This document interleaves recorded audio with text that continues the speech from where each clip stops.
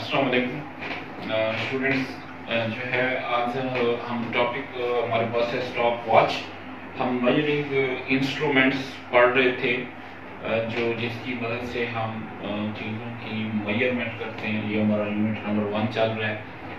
Physical quantities and measurements measurements में जिस तरह आप लोगों ने वर्नियर कैलिपर को पढ़ा है जिसकी मदद से हम किसी भी ऑब्जेक्ट की जो डायमीटर होता है, वो फाइंड किया जा सकता है। इसी तरह माइक्रोमीटर स्क्रू गेज है, जिसकी मदद से हमने जो है, किसी भी चीज़ की थिकनेस को फाइंड किया है, उसका लीस्ट काउंट भी हमने डिस्कस किया था। तो आज हमने जो है स्टॉप वॉच के मतलब पढ़ना है कि स्टॉप वॉच क्या होता है। और ये भी एक मेजरिंग इंस्ट्रूमेंट है।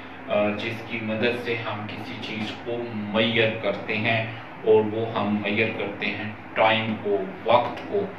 वक्त को मैयर करने के लिए जो है स्टॉप वॉच का इस्तेमाल किया जाता है। जिस तरह दो पॉइंट्स के दरमियान फासला जो है वो डिस्टेंस कहलाता है। अब एक पॉइंट से दूसरे पॉइंट तक जाने में जितना वक्त लगता है, उसको टाइम कहते हैं। अब टाइम कितना है ये हम जब मैयर करेंगे तो इसके लिए हमें एक इंस्ट्रूमेंट की ज़रूरत पड़ेगी और वो इंस्ट्रूमेंट है स्टॉप वॉच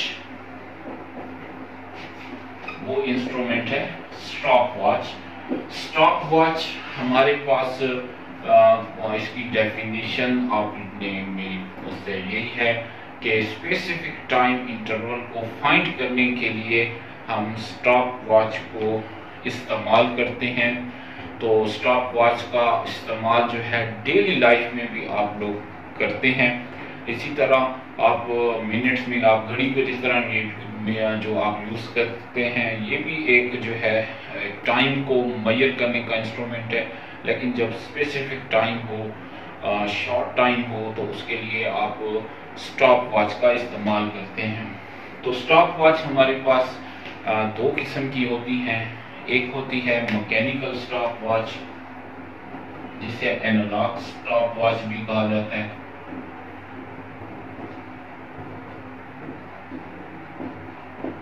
और दूसरी जो है, हमारे पास डिजिटल स्टॉप वॉच इस्तेमाल होती है। ये दोनों स्टॉप वॉच आपको साइंस लैब में मिल जाती हैं। पहले ज़्यादातर इस्तेमाल मकैनिकल स्टॉप वॉच का किया जाता था और आजकल जो है वो डिजिटल स्टॉप वॉच भी ज़्यादातर इस्तेमाल की जाती है। साइंस लैब में डिफरेंट एक्सपेरिमेंट्स को परफॉर्म करने के लिए जैसे पेंडोलम का है। आ, इसी तरह और भी एक्सपेरिमेंट्स हैं जिनकी में हमें स्टॉप वॉच की ज़रूरत पड़ती है। तो मकैनिकल स्टॉप वॉच क्या होती है? मैकेनिकल स्टॉप वॉच जो है, हमारे पास, जो है, उसकी मैं आपको ये दिखा भी देता हूँ कि ये हमारे पास मैकेनिकल स्टॉप वॉच है। मैकेनिकल स्टॉप वॉच जो है, इस तरीके से एक राउंड उसका डायल होता है। राउंड डायल होता है इधर हमारे पास एक उसकी नॉब बनी हुई होती है। तो यहाँ पर हमारे पास उसके, जो है, वो स्केल्स बनाए जाते हैं।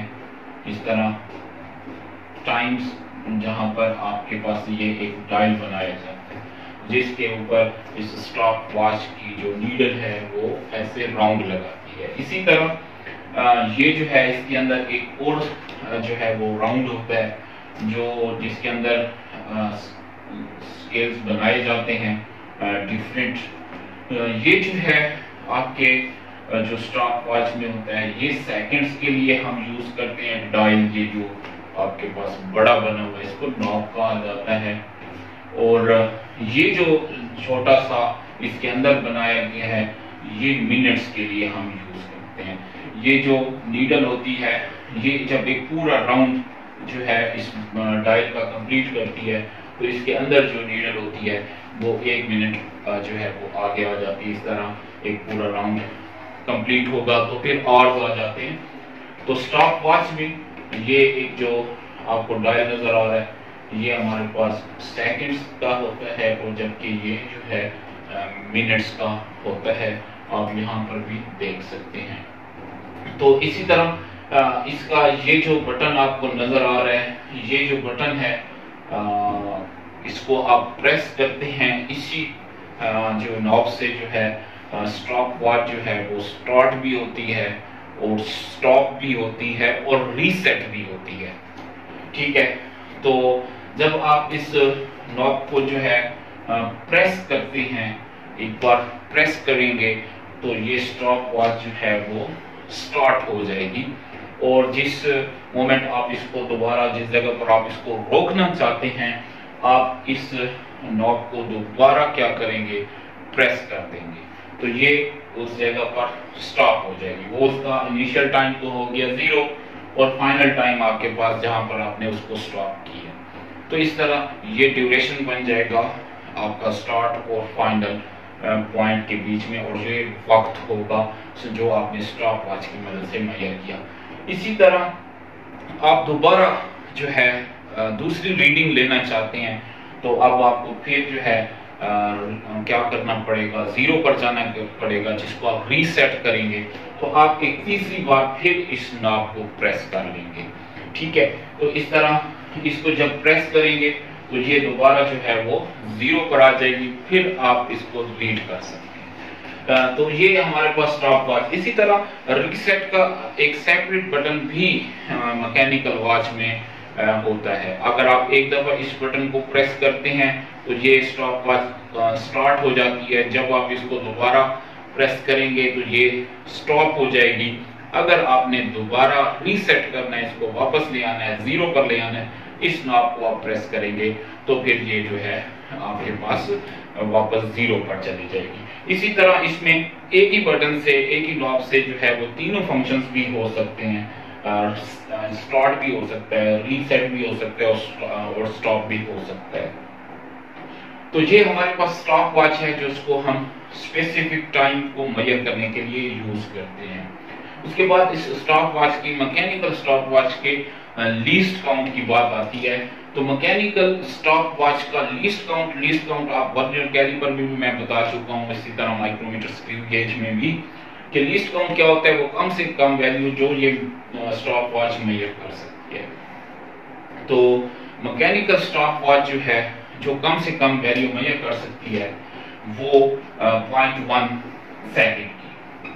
तो इस तरह हम कहते हैं कि एक सेकंड हमारे पास आ, जो मैकेनिकल स्टॉप वॉच का आ, जो लीस्ट काउंट होता है वो 0.1 सेकंड्स का होता है। 0.1 वन सेकेंड्स का ये जो है लीस्ट काउंट है। इस बात का मतलब ये है कि ये एक सेकंड के दसवें हिस्से तक एक सेकंड को अगर आप टेन पर डिवाइड कर दें वन डिवाइडेड बाई टेन तो आपके पास ज़ीरो पॉइंट वन आता है। तो इस तरह हम ये कहते हैं कि जो है मैकेनिकल स्टॉप वॉच 0.1 सेकंड इसका लीस्ट काउंट है, ये एक सेकंड के दसवें हिस्से तक टाइम को मैयर कर सकती है। इससे भी ज़्यादा अगर आपको एक्यूरेट ज़्यादा प्रिसाइज एक्यूरेट टाइम चाहिए तो फिर आप यूज़ करते हैं डिजिटल स्टॉप वॉच को। डिजिटल स्टॉप वॉच भी ऐसे ही जो है आपके पास रेक्टेंगल भी होती है गोल भी बनाई जाती है। इसके अंदर इस तरह जो है वो जो है स्क्रीन बनाई जाती है इसकी, जिसके ऊपर आपको डिजिट्स नज़र आते हैं। और इसके जो बटन है, वो यहाँ पर और यहाँ पर दो बटन लगाए जाते हैं, दो नॉब होती हैं। यहाँ पर एक होता है स्टार्ट और स्टॉप का। और जबकि ये दूसरा जो है वो रीसेट का होता है। तो जब आप स्टॉप वॉच को ऑन करेंगे तो ज़ीरो ज़ीरो पर मौजूद होगी। तो जब आप इसको स्टार्ट करेंगे, इसके बटन को प्रेस करेंगे, इस बटन को तो ये इसके ऊपर नंबर्स आपको शो हो जाएँगे सेकंड्स में। इसी तरह जब इसको आपने जिस टाइम के लिए इसको रोकना है कुछ वक्त के बाद तो फिर इसी ही आपको बटन को प्रेस कर देंगे।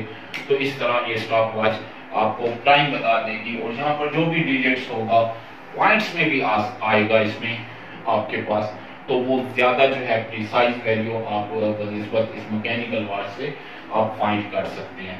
तो ये जो है इस तरह आप इससे रीडिंग ले लेंगे। और अगर आपने दोबारा इसको ज़ीरो पर ले जाना है तो दोबारा आप इस रीसेट के बटन को प्रेस करते हैं और इस तरह ये दोबारा आपको ज़ीरो ज़ीरो शो हो जाता है। इस तरह आप किसी भी चीज़ की दोबारा टाइम को मैयर कर सकते हैं। ये जो डिजिटल स्टॉप वॉच है, ये एक सेकंड के हंड्रेड हिस्से तक वन ओवर हंड्रेड टाइम उसको मैयर कर सकती है। Mean zero point zero one second का लीस्ट काउंट जो है, ये डिजिटल स्टॉप वॉच का है।